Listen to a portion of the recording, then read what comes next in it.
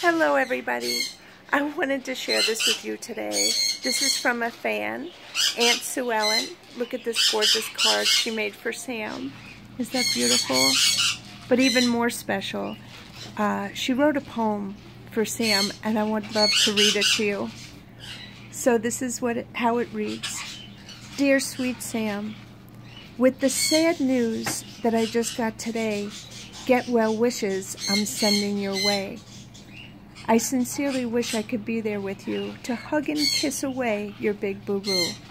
The doctor is helping, and your mom is too, but want you to have some help from Aunt Sue.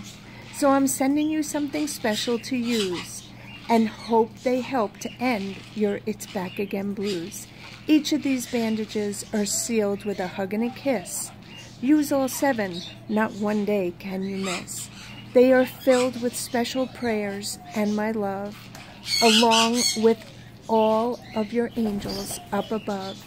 Take care, special darling, and don't be blue, because soon you will be just as good as new. Hugs and kisses, love Aunt Sue Ellen. And these are the bandages, one for every single day. Is that the sweetest thing ever?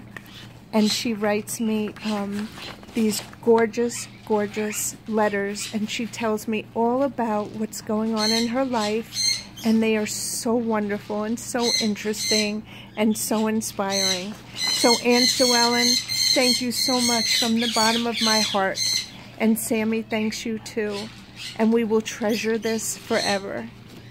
We love you, Aunt Sue Ellen.